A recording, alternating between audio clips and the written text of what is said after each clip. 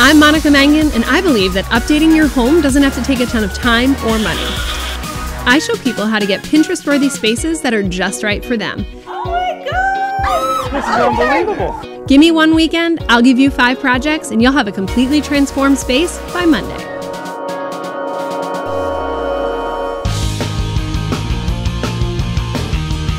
This weekend I'm in Charlotte, North Carolina, working on a space that a lot of times gets forgotten and ignored. The foyer, also known as the foyer, if you're fancy like that. A foyer can be kind of a challenging space to work with. There's usually a lot of awkward angles, sometimes high ceilings, stairs, closets. It can be a major challenge to design, but it also is like the first thing that people see when they come into your home. It makes the first impression of your home. So you want it to be a good one. Hey, I'm Danny. I'm Laura. We live in Charlotte, North Carolina. We are first time homeowners. Uh, we've been in our new home for about eight to nine months now. We were so excited to own a home and we always talked about all of these things that we would do at the places that we rented. And so now that we're in a home, it's a little bit overwhelming because you're spending the money on it and you want it to be something you're gonna like for a long time. We'd love to make some changes to our home to really kind of bring our own flavor to it. So that's why we think it's a great opportunity for us to really make the biggest impact in the room that's going to make the biggest first impression, and that would be the foyer. It's a space that everyone sees first when they come over, and we have a lot of neighbors stopping over these days. I think it's quite an undertaking for one weekend, but we're gonna make it happen. Hey guys! Hey, how's it How going? Welcome. Thanks. Alright. So this is the foyer. It's really big. This is the first thing everyone sees when they walk in your house. And Yes. uh, it leaves a little something to be desired at this point. It is the definition of a blank canvas for us. White and empty. So tell me a little bit what you guys would like to see for the space. We have neighbors coming over all the time to say hello. Okay. And we would love to have a space that they can see that really represents us and isn't so dated. Tell me what's gotta go, what's gotta stay. The staircase is definitely tired and dated. The floors uh, don't have to go, but don't really do anything for the space. There's a bit of a disconnect between the wood Yes, tones there. exactly. And it's in great, it looks like it's in great condition. So Right. we maybe just need to bring those together. Yes, Sure. exactly. So this weekend, we're gonna tackle something with the stairs. We're gonna build you guys some furniture. We are going to address the lighting situation. We're gonna do a bit of a wall treatment and we're also gonna have some organization in here. So we have a lot of work to do this weekend, but clearing out this space is not one of our big jobs. So find a mini blind and let's go. Get to work. I've got some awesome ideas. It's gonna take me two days. I'm gonna show you five projects and we're gonna end up with one grand entrance. You get it? grand entrance foyer.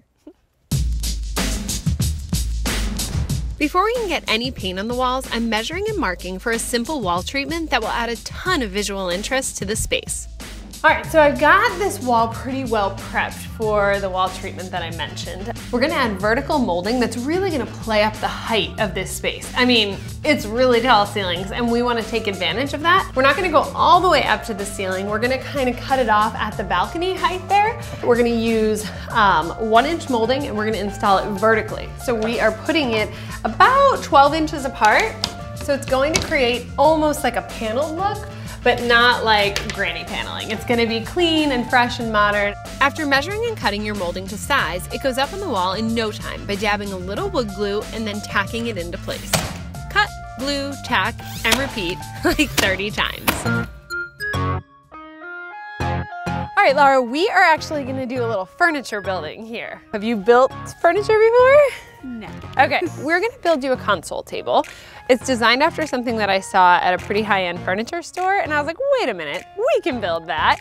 The reason that I love building furniture is that it saves a ton of money and you can customize the size of it too. When you walk into your foyer, that wall there isn't extremely long, so it would be really hard to find a piece that would fit it perfectly, but it's very easy to build one ourselves. First, we're cutting the legs to size, then using a Kreg jig to hide our screw holes, keeping the aesthetics of the piece nice, but still making it a really secure build. So see here, it created pocket holes, and that will allow our screw to go in and attach to the next piece of furniture. Wow. Neat, right? Yeah. The top is just a chunky piece of pine wood that we cut to size. All right, so now you see kind of what Yeah. our base is for. Yeah, it looks great. And it looks it looks high quality, so I can just see how when you stain it or paint it, it's just gonna look like something you bought from the store. This, about a $100 project versus maybe a $1,000 at the store. Yeah. All right, guys, we're gonna start working on paint, and it's one of our five projects, but we have a lot of it to do in this space. So let's get a look at these colors. So first I'm gonna show you all the walls. You gotta trust me on this whole process, okay? Don't freak out ahead of time. All right, one, two, three. Oh. Oh, What, silence. what, col- what color is it? What color does it look like to you? I don't know. Oh.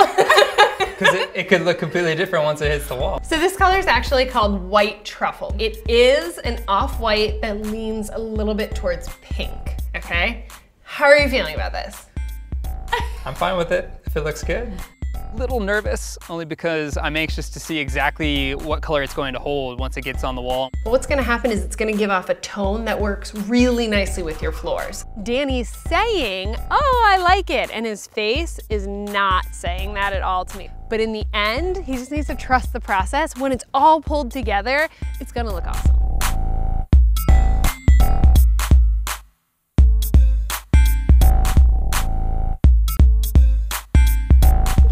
Do I need the roller with me?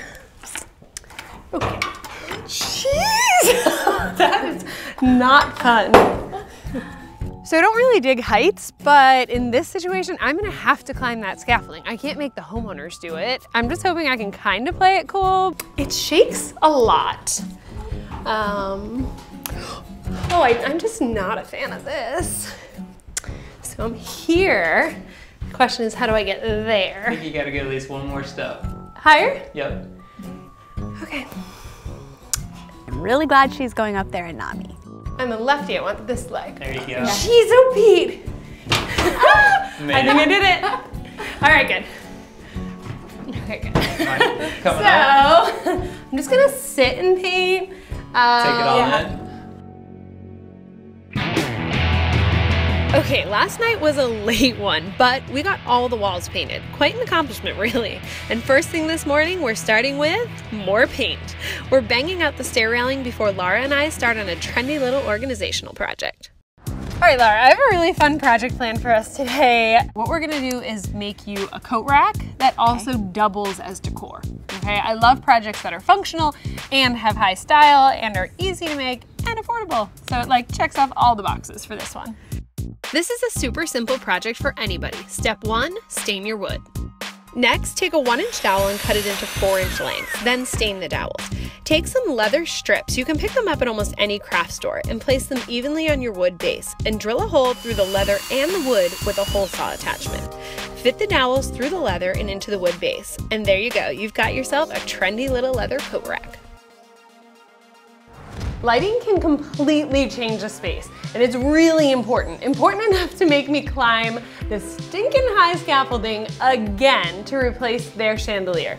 Now, this 80s bad boy has gotta go. We've got them something new and sleek. Matt is going to install the new one. I'm gonna supervise from here and hold on really tightly. This is all ready to go, so uh, we got the power off, so we can take this down. All right, step one, shut the power off. All right, so Matt is taking down the old light. It really just requires a screwdriver. and it's down.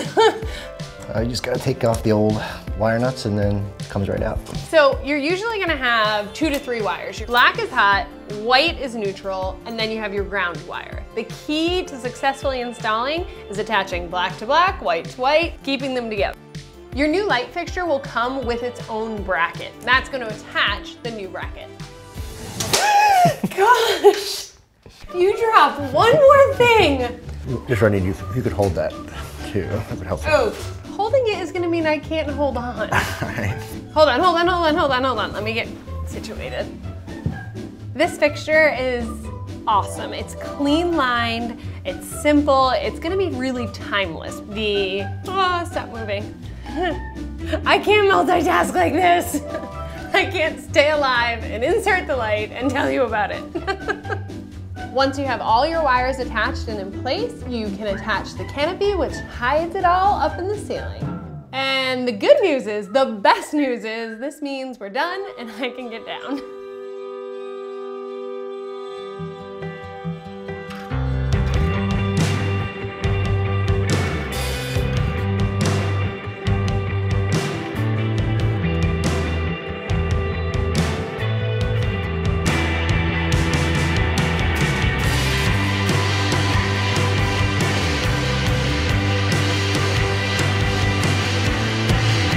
count of three, you guys can do it. One, two, three.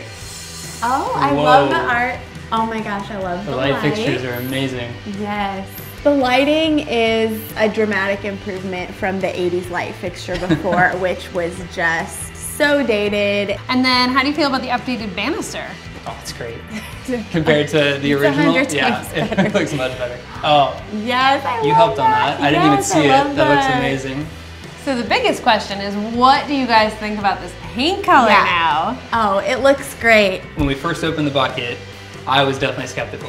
Now that it completely fills the room, it looks it looks great. Now, one of your big concerns before we started this weekend was neighbors and people coming in. How did we do? Is this feeling more welcoming? Are we reflecting you guys? I think we're gonna throw the door open now. Before Yeah, it, before it was cracked, now it'll be like everyone come over and check it out. We'll be out in the streets trying to get people to come in and see it. It definitely has our feel, so I think it's gonna be kind of a prideful moment to, to open the door and allow people to kind of see our look. Well, thanks for letting me come help with this. This is a challenge, a really big challenge, but a fun one for me. Thank you.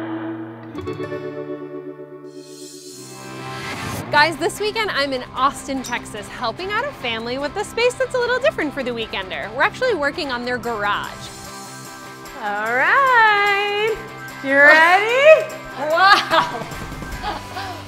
nice. You're right. I mean, can it get any better than this? I don't know. Are you loving The Weekender? If so, click like and subscribe to the Lowe's YouTube channel. That way you'll be notified when the next episode drops. And then I challenge you to become a Weekender. You can get started on our hub at Lowe's.com. We have how-to videos, step-by-step guides, and project lists for every episode. If you need a little more inspiration, check out my boards on Lowe's Pinterest page. We have mood boards, alternate styles, and you can pin your favorite projects. Thanks, guys.